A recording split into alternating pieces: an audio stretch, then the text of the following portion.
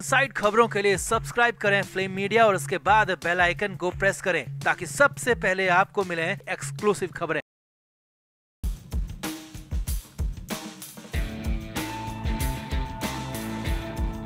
Film industry को बहुत बड़ा झटका लगा है। अचानक इंडस्ट्री में कोराम मच गया, मुंबई से लेकर नागपुर तक हाहाकार मच गया, क्योंकि बेहद कम उम्र में ही बड़ा एक्टर दुनिया छोड़कर चला गया, बड़ा स्टार दुनिया छोड़कर चला गया। हालात ये थे कि करीबियों को यकीन नहीं हो रहा था कि ऐसा भी कुछ हो गया, और यही नहीं, मुंबई और नागपुर में कुछ गफलत तक हो गई, जिसके बाद हालात और ज़्यादा बिगड़ गए, क्योंकि नाम बंटी का आ रहा था। बंटी के जाने की, हमेशा के लिए दुनिया छोड़ देने की बात हो रही थी। तो कैसे?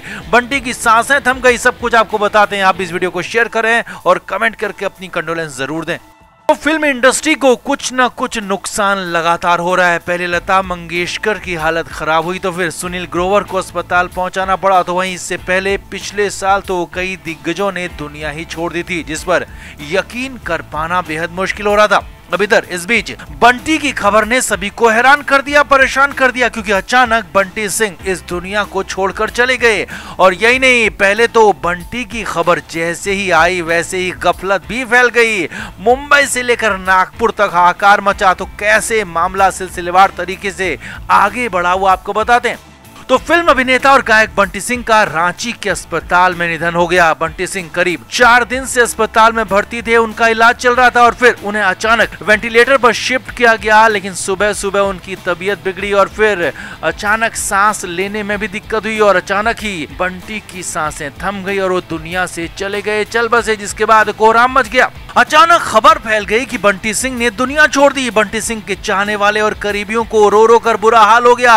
अब ये खबर जब मुंबई मायानगरी पहुँची तो वहाँ अलग ही कोहराम मच गया, क्योंकि वहाँ कुछ और ही मामला सामने आ रहा था। क्योंकि वहाँ जो खबर आई थी, वहाँ जो खबर पहुँची थी, वो ये थी कि सेक्रेट गेम्स के बंटी, यानी कि जतिन सरना चले गए हैं। जी हाँ मुंबई में आग की तरह खबर फैल गई कि नवाजुद्दीन सिद्दगी के बंटी, यानी कि जतिन सरना चल बसे हैं। तो फिर तो हंगामा हंगामा मच गया, बवाल हो गया, तुरंत ही बंटी यानी कि जतिन के घर लोगों का पहुँचना शुरू हो गया। अब हालात ये थे कि बंटी भी घर पर नहीं थे, उनकी खबर भी नहीं मिल पा रही थी, क्योंकि वो फ़िल्म की शूटिंग पर गए थे। जी हाँ उनका फ़ोन पिक नहीं हो रहा था, हालाँकि कुछ देर बाद मामले का खुलासा हो गया। मुंबई के बंटी यानी कि जतिन सरना बिल्कुल ठीक पाए गए। उनके नाम की सिर्फ़ नाम की वजह से गफलत हो गई थी, जिस वजह से लोगों ने उनके नाम का आभास कर लिया, लेकिन वो पूरी तरह से ठीक थे। लेकिन असल Bunty Nagpuri film industry industry के थे, जिनका रांची में निधन हुआ था। नागपुरी बंटी सिंह भी खासे पॉपुलर थे। उनकी सफलता का अंदाज़ा इस बात से लगाया जा सकता है कि उन्होंने चार हज़ार से ज़्यादा एल्बम दिए थे। कई फ़िल्मों में भी काम किया था और लगातार काम कर ही रहे थे। करीब 20 साल से बंटी सिंह इंडस्ट्री में थे, लेकिन उनका काम लगातार आगे बढ़ रहा था। मगर अब उनकी ज़िंदगी, उनका काम सब कुछ थम गया, क्योंकि अचानक उनकी साँसें थम गई।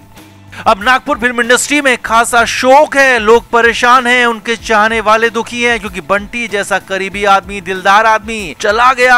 वहाँ लोगों को ये बात परेशान कर रही है और पूरी इंडस्ट्री ने दो दिन, जी हाँ दो दिन के लिए पूरी तरह से काम बंद कर दिया गया है। बंटी सिंह की याद में पूरी इंडस्ट्री दो दिन किसी भी तरह का काम नहीं करेगी, जिसके बाद से अंदाज़ा लगाया जा सकता है कि बंटी सिंह का कद नागपुरी इंडस्ट्री में कितना बड़ा था, कितने बड़े कद के, कितने बड़े स्टार स्टार वो थे। तो फ़िल्म जगत के वाकई हालात खराब है, कहीं भी कुछ भी हो रहा है, लेकिन एक साथ दो बंटी की खबर ने पहले परेशान कर दिया, मगर मुंबई वाले बंटी यानी कि जतिन सरना ठीक है, लेकिन नागपुरी वाले बंटी दुनिया छोड़कर चले गए हैं, अपनों को, करीबियों को छोड़कर चले गए हैं, जिससे उनके चाहने वाले, उनके करीबी लोग रो रो कर परेशान है, उनका बुरा हाल है। तो आप भी इस वीडियो को शेयर करें और बंटी सिंह को लेकर अपनी श्रद्धांजलि ज़रूर दें।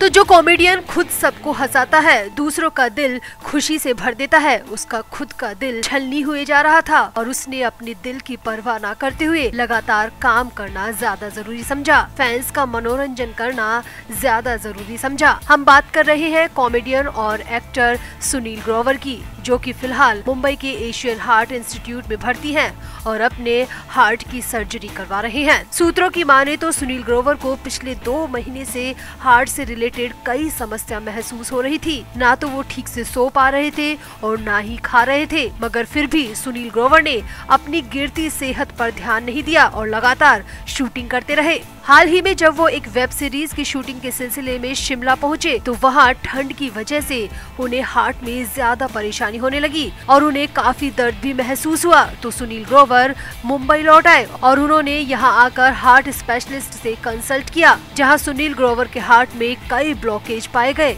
जिसके बाद डॉक्टर्स की सलाह पर सुनील की तुरंत इमरजेंसी में हार्ट सर्जरी करनी पड़ी।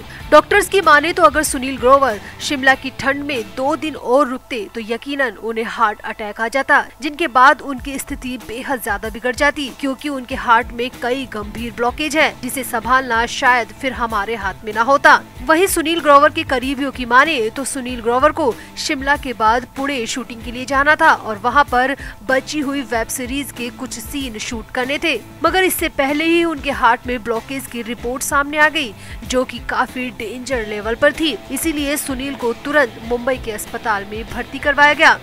अब सुनील ग्रोवर की सर्जरी की खबर सबसे पहले सिमी ग्रेवाल ने ट्वीट करते हुए दी।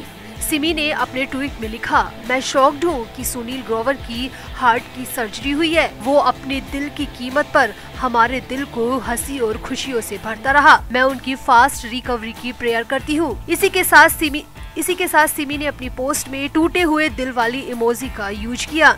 इसी तरह कई और सेलेब्स ने भी सुनील के शीघ्र स्वस्थ होने की कामना की है।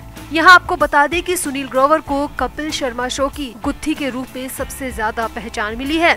हालाँकि सुनील ग्रोवर जिस भी फ़िल्म और वेब सीरीज़ में नज़र आए, हर जगह उनके काम की काफ़ी तारीफ़ होती है। उनकी एक्टिंग को लोग बहुत पसंद करते हैं। वहीं दूसरी खबर, बॉलीवुड के अभिनेता अमिताभ को लेकर है, जिनका 2 फरवरी को सुबह साढ़े चार बजे निधन हो गया। एक्टर अमिताभ दयाल का निधन हार्ट अटैक की वजह से होना बताया जा रहा है। अमिताभ इकसठ साल के थे। उन्होंने कई हिट फ़िल्मों में काम किया है। एक्टर अमिताभ दयाल, अमिताभ बच्चन, जॉन इब्राहिम के साथ विरुद्ध फ़िल्म में नज़र आ चुके हैं।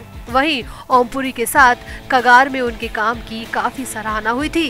अमिताभ दयाल के निधन की जानकारी उनकी पत्नी मृणालिनी पाटिल ने दी है। उन्होंने बताया कि आज सुबह साढ़े चार बजे उनका निधन हो गया। अमिताभ को 17 जनवरी को दिल का दौरा पड़ा था, जिसके बाद उन्हें मुंबई के नानावटी अस्पताल में भर्ती करवाया गया। अस्पताल में जाँच के दौरान पाया गया कि अमिताभ कोरोना पॉजिटिव है। इलाज के बाद कोरोना से तो वो उबर गए, लेकिन एक बार फिर से उन्हें हार्ट अटैक आया और उसके बाद उन्हें बचाया नहीं जा सका। यहाँ आपको बता दें कि अमिताभ दयाल ने हाल ही में अपने इंस्टाग्राम पर अस्पताल से ही बनाया गया अपना वीडियो चार दिन पहले ही पोस्ट किया था। उनका ये वीडियो बेहद इमोशनल है। वीडियो में वो अस्पताल के बेड पर लेटे हुए हैं और वीडियो में कह रहे हैं कि, नमस्कार दोस्तों, आज आठवां दिन है, कोविड से लड़ाई करते करते लड़ाई करना कभी मत छोड़िए। कोई आत्मरक्षा के लिए लड़ता है, कोई आत्मसम्मान के लिए लड़ता है। अब हम कोविड से लड़ रहे हैं आत्मरक्षा के लिए। हमें ज़िंदगी जीनी है, इसीलिए कभी हार मत मानिए। जैसे मैं नहीं मान रहा, मैं आप लोगों से रोज मिलूँगा। जय हिंद। अब ये वीडियो बता रहा है कि अमिताभ दयाल अपनी ज़िंदगी जीना चाहते थे, लेकिन कोविड ने उन्हें ये मौका नहीं दिया। रंगदारी और धुआँ फ़िल्म के अभिनेता अमिताभ की शादी मराठी डायरेक्टर मृणालिनी पाटिल से हुई थी, लेकिन शादी के नौ साल बाद ही दोनों में तलाक हो गया। अमिताभ अपने पीछे एक बेटा शिवम और बेटी अमृता को छोड़कर गए हैं। तो अमिताभ दयाल के निधन से जहाँ पर बॉलीवुड में दुख पसरा है, वहीं कॉमेडियन सुनील ग्रोवर के शीघ्र स्वस्थ होने की कामना की जा रही है। तो आज बॉलीवुड से इन दोनों ही खबरों ने सबका दिल तोड़ दिया।